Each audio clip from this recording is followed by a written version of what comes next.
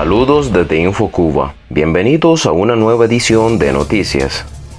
Activista cubano denuncia ataque oficialista por las críticas al régimen. El activista por los derechos humanos denunció que está atacado por la prensa oficialista de la isla por sus críticas en Twitter al régimen cubano. Sobrino de López Calleja revela interioridades de la familia y denuncia amenazas. El joven cubano expresó que su tío López Calleja expresó actualmente el funcionario y la cúpula que lo rodea están esperando a que mueran todos esos dinosaurios para repartirse lo que queda del país.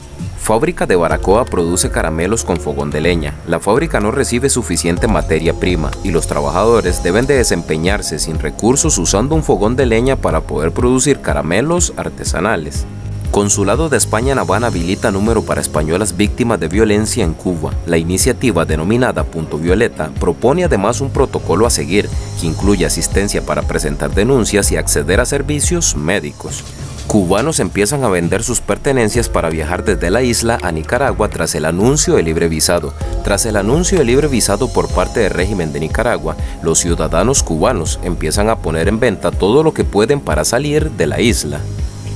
Calles de Palma Soriano permanecen entre el fango y el olvido. Esta calle es de Fidel, comentan cubanos sobre una zona de Palma Soriano sumergida en el fango proponen denunciar la ilegitimidad del régimen cubano en Canadá. El senador canadiense Leuso Acus propuso denunciar la ilegitimidad del régimen cubano ante el Senado de Canadá.